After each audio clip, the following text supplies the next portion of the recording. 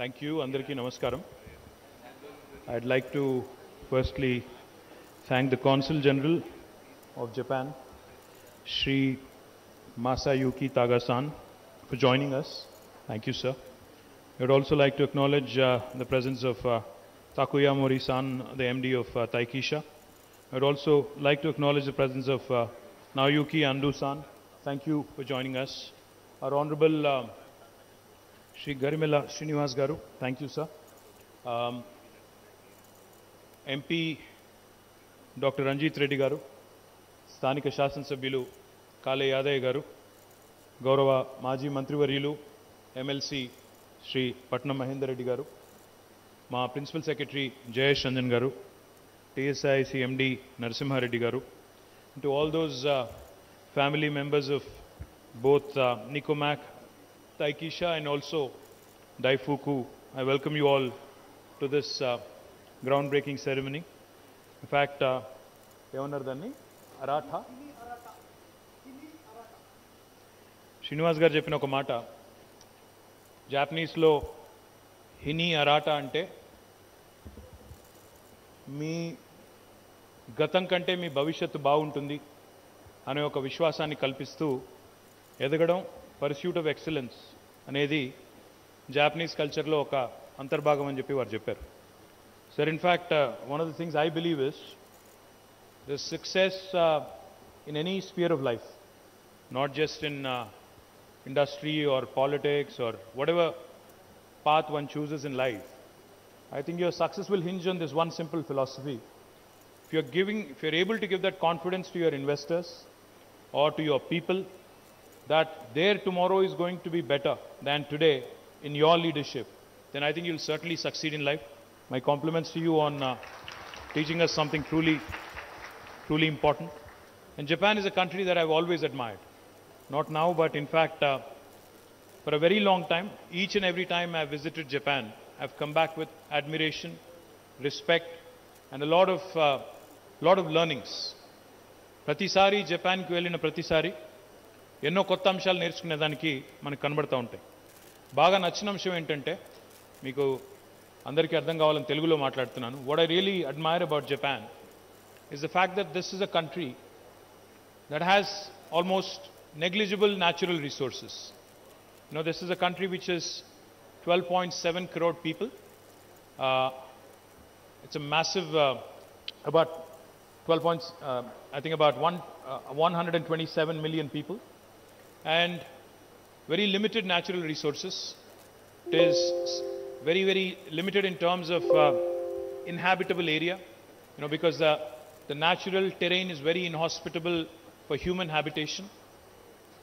There are tsunamis, there are earthquakes, there are many challenges which nature has, uh, you know, imposed on Japan. And let us also remember that Japan was the only country on the planet which actually had to endure a nuclear attack in Hiroshima and Nagasaki.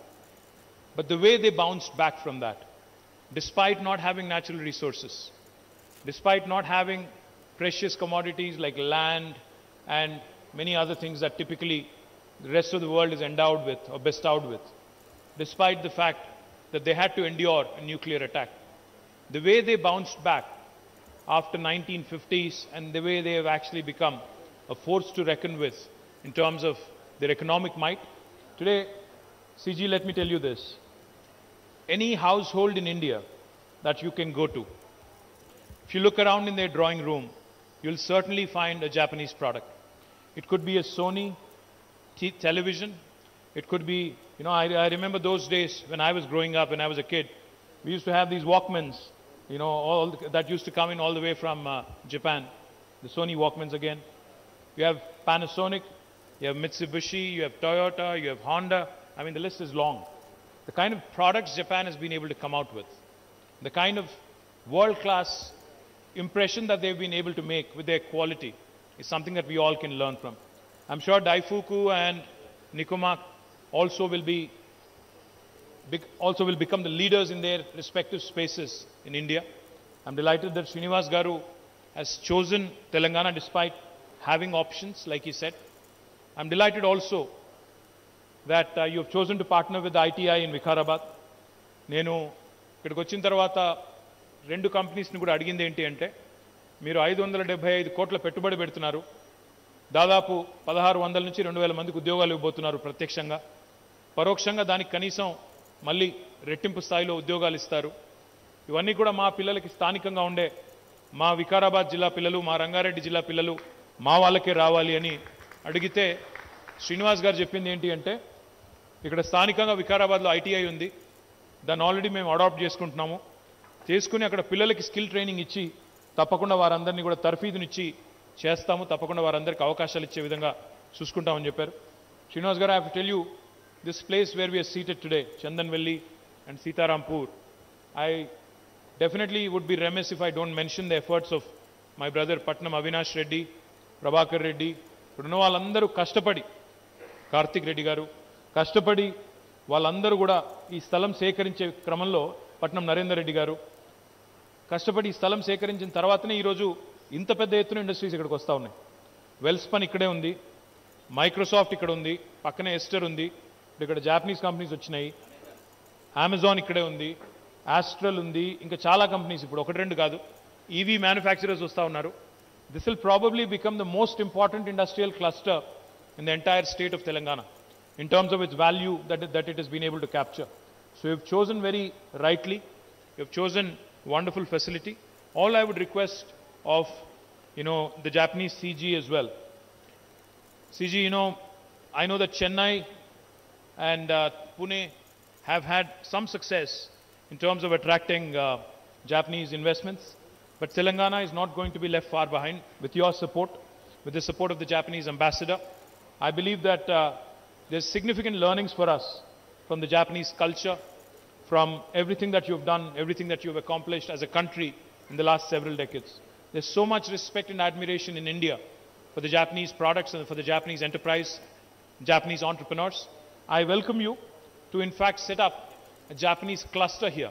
Not just these two companies here, but I welcome you to invite more, large number of companies, large delegations to come in, see what we can offer them, see how we can build a beautiful story where even the local entrepreneurs can learn so much from the Japanese way of working. Srinivas was telling me that he will be inaugurating this facility in about 14 months from now. When I asked him how, he said, you know, the Japanese work like a clock. You know, they work as per schedule, as per a timetable, and as per a timeline. And he's supremely confident that he will inaugurate his facility next September. I'm equally confident that once that happens, we'll be able to bring in more and more Japanese companies because they will then realize that Telangana means business. So thank you so much for inviting us. Thank you to both uh, Daifuku and also Nicomac for uh, making sure that this program today is a huge success. Thank you, Jai Telangana. Thank